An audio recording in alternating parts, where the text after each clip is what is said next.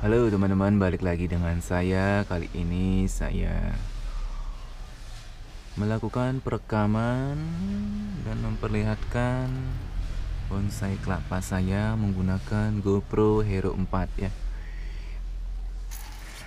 Ini biar teman-teman bisa melihat secara detail gambarnya. Oke. Seperti inilah penampakannya detail dari koleksi bonsai kelapa saya. Nanti saya akan lihatkan satu persatu teman-teman. Hmm, ini dia akarnya. Akarnya ini sudah kita pernis. Jadi dia aman. Karena akarnya sudah berwarna coklat jadi aman untuk dipernis.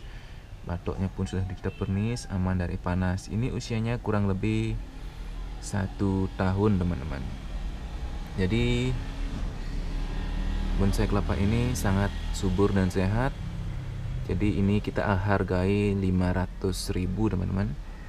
Hmm, dilihat saja ini ada lumutnya yang hijau segar. Ya. lalu yang ini baru kita expose dan masih ada sisa-sisa sabutnya ini. Biarkan saja nanti sampai membusuk sendiri teman-teman. Dan ini juga sudah mulai daunnya pecah ya.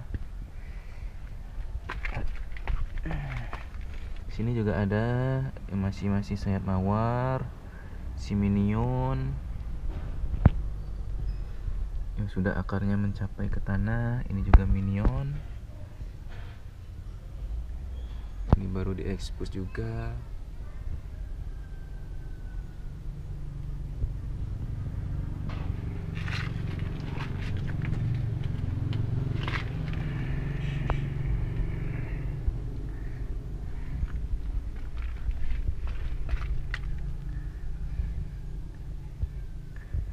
Ada sawi.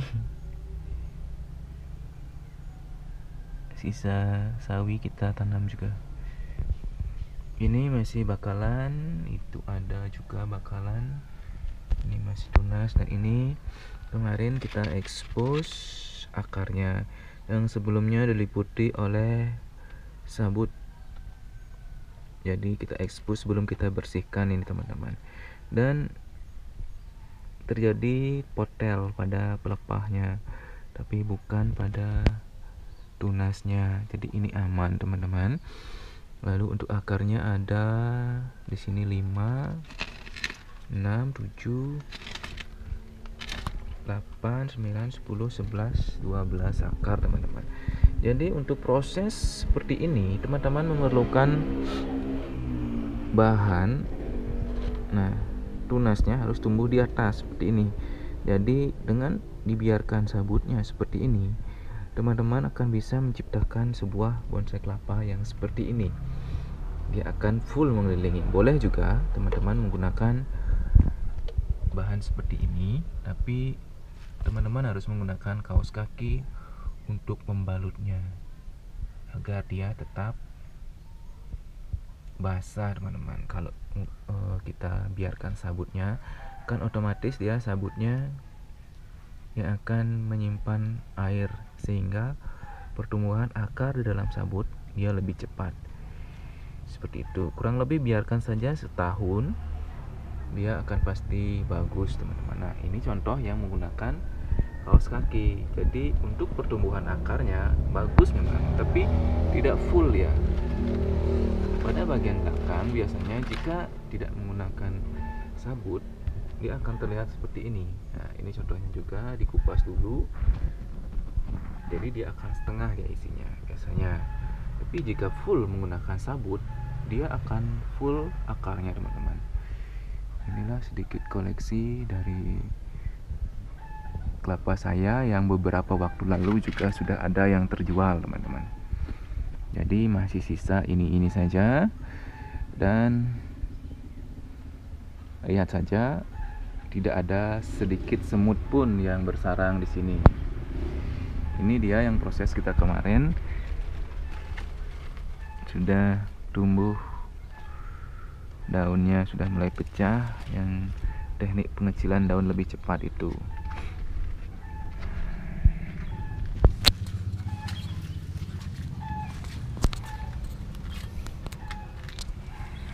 Coba kita lihat yang kita buat kemarin eh, cara tebas ekstrim. Nah ini dia hasilnya. Tebas ekstrimnya teman-teman jadi dengan tebas ekstrim teman-teman harus tetap melakukan penyayatan seperti ini. Ini harus disayat. Nah nanti saya akan perlihatkan dengan cara tebas ekstrim dan cara sayat biasa itu tapi disisakan. Nah model set gini model set gini saya akan perlihatkan hasilnya. Uh, usianya sama dengan ini masih ada di belakang rumah. Nanti akan saya perlihatkan hasilnya. Manakah yang akan lebih cepat pertumbuhannya dengan menggunakan tebas ekstrim atau cara seperti itu teman-teman.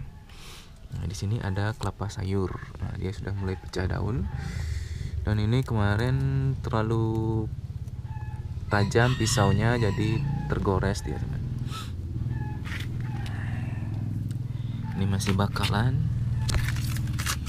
Ini ada uh, kelapa gading. Tapi batoknya besar sekali seperti kelapa sayur. Tapi ini adalah jenis kelapa gading. Tapi juga bukan kelapa albino teman-teman. Ini saya masih gunakan media air. Lihat saja akarnya. Jadi beberapa akar ada yang busuk tapi tidak masalah. Dengan banyaknya akar ini dia cukup nutrisinya teman-teman. Jadi ini tinggal kita pindahkan ke media tanam tanah atau pasir sesuai dengan keinginan. Jadi usianya ini sudah hampir setahun. Ini saya punya dua yang gitu besar. Nah, ini dia akarnya.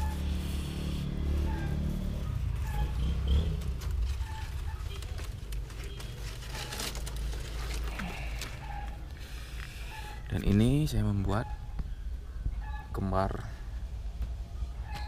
kembar gading orange dan kuning ya bulan. Kalau di Bali dinamakan new bulan. Ini masih bakalan juga masih kita bungkus. Dia sudah mau mecah daun ini belajar pecah. Juga belajar mecah daun ya nanti tinggal kita proses sedikit bisa dah kita rupiahkan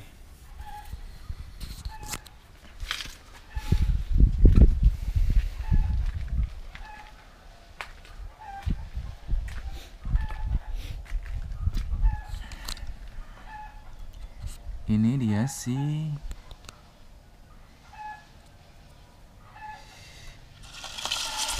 aduh ini dia maskot kita teman-teman yang sering saya munculkan di YouTube. Ini sedang proses perawatan akarnya yang kemarin mengering itu jadi masih kita balut menggunakan moss. Karena moss itu bisa membuat akar mendapatkan air lebih banyak. Lebih banyak ya teman-teman ya.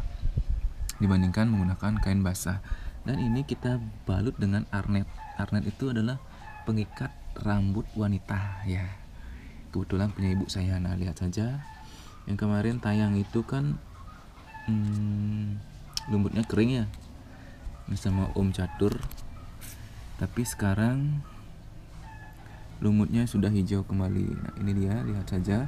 Karena ini kita menggunakan lumut dari pohon kelapa. Dan ini maskot kita gading dan itu pemberian kawan saya dari Ubud Haji Arta ini ada minion masih proses ya usianya sudah lima bulan. Jadi ini kita gunakan kain basah. Karena medianya air jadi kainnya akan tetap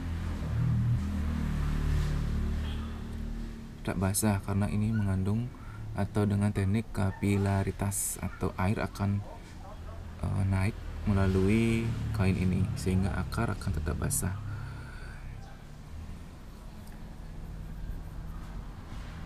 Oke, sekian saja ya teman-teman ya. Sedikit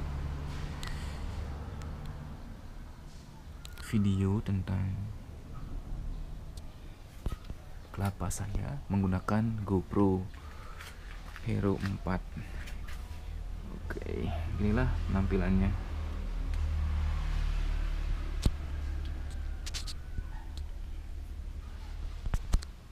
Salam kopi tanpa gula, teman-teman.